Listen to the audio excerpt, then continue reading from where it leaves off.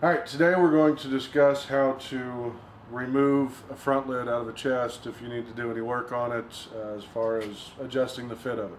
First thing you want to do is open up your box, take your lid, slide it under. You want to remove all of the long drawers and set them on the bench next to you. Clicking you're hearing is our stop track system. If your chest has that, the bottom right hand slide for the drawers, you're going to want to remove the screw to be able to take the front lid out. Set that in a drawer where you're not going to lose it. To remove the lid, you're going to pull it all the way towards you, angle it up slightly. You're going to slide the right hand side into the chest while keeping the left hand side at the front.